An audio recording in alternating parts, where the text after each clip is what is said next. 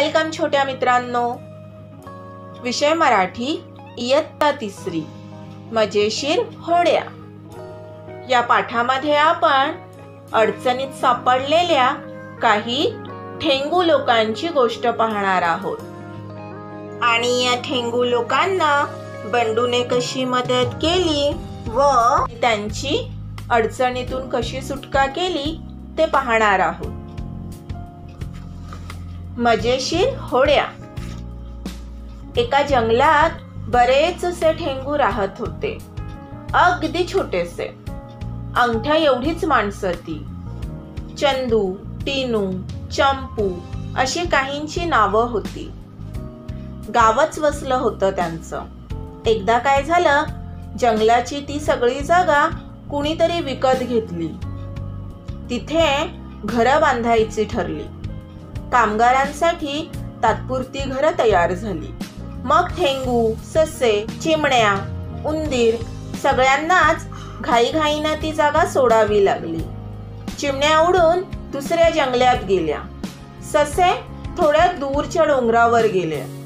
उंदरांनी घरं बांधून होईपर्यंत तिथेच लपून राहायचं ठरवलं. कारण त्यांना माहीत होतं की कामगारांच्या घरात खायला मिळणारच आहे. ठेंगू पण एकत्र जमले. त्यांच्या नेत्यानं सांगितलं आपण आपल्या नातेवाईकांकडे इच्छापूर्तीच्या रानात जाऊन राहू. मला जायचा रस्ता माहीत आहे. एक डोंगर एक नदी ओलांडली की येतं ते. तिथे खूप जागा खूप झाडं आणि खूप खायला प्यायला आहे. तिथे राहू आपण. एका रात्री ते निघाले. रस्ता म्हटला तर जवळचा. पण ठेंगूंना लांबचाच की? चालून चालून ते नदीकाठी आले. मग आली पंचायत. पंचायत म्हणजे अडचण. नदी ओलांडायची होती. आता काय करायचं? त्यांना एक ससा भेटला. त्यांनी आपली अडचण सशाला सांगितली. ससा म्हणाला इथे खूप चांगला दयाळू मुलगा आहे. बंडू नावाचा. तो त्या घरात राहतो. तो खूप हुशारही आहे. तो करेल मदत. मी एकदा सापळ्यात अडकलो होतो. तेव्हा त्यानंच मला बाहेर काढलं होतं.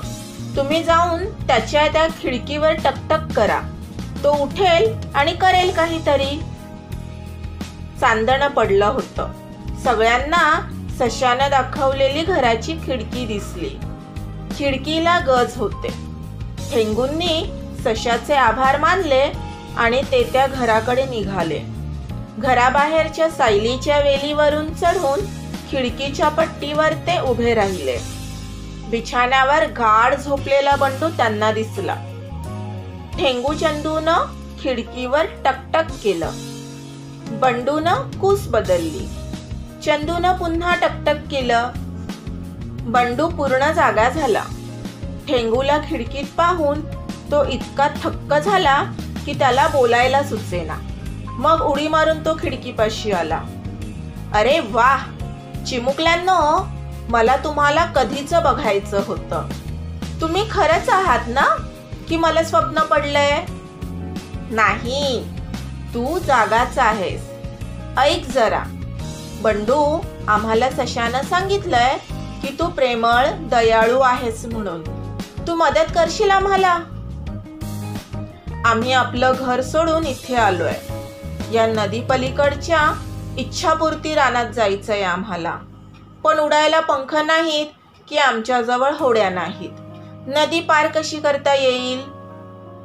तू सांगतोस काही उपाय? चंदूनं विचारलं. बघतो हा. काय करता येईल मला? बंडू लगेच म्हणाला. बंडूनं थोडा विचार केला आणि म्हणाला बघूया हा माझ्या होडीचा तुम्हाला काही उपयोग नाही. ती खूपच मोठी आहे. शिवाय माझी वल्ही तुटली आहेत कागदाच्या होड्या केल्या तर भिजून बुडतील. हा चांगलं आठवलं. काय? काय आठवलं? सगळ्या ठेंगूंनी एकच गलका केला. मी तुम्हाला अक्रोडाच्या टर्फलांच्या होड्या करून देतो. त्यांचा आकार तुमच्यासाठी योग्य होईल. एकेकाला एक एक होडी. त्या पाण्यात छान तरंगतात. त्यांना छोटी शिड मी लावून देईन. म्हणजे वाऱ्यानं त्या पलीकडे नीट पोहोचतील. बंडू खाली धावला. सगळे मिळून अकरा ठेंगू होते. त्यानं स्वयंपाकघरातून सहा मोठे अक्रोड आणले. मग ते नीट मधोमध फोडले. आतील भाग ठेंगूंना खायला दिला आणि स्वतः होड्या बनवू लागला. घ्या झाल्या होड्या. बारा होड्या झाल्या. आता त्यांच्या डोलकाठ्या आणि शिड बनवतो. एका डब्बीत वापरून झालेल्या काडेपेटीतल्या काड्या गोळा करून ठेवल्या होत्या. त्या काढल्या. कागदाची शिड करून ती काड्यानं टाचणीनं टोचली. गोंदानं शिड डोल काठीला म्हणजे आगगाडीला घट्ट चिटकवली होडी तयार झाली. ठेंगू थक्क होऊन आपल्या होड्या बनताना बघत होते. बंडून बघता बघता किती छान होड्या बनवल्या होत्या. काही एक दोन नव्हे चांगल्या बारा.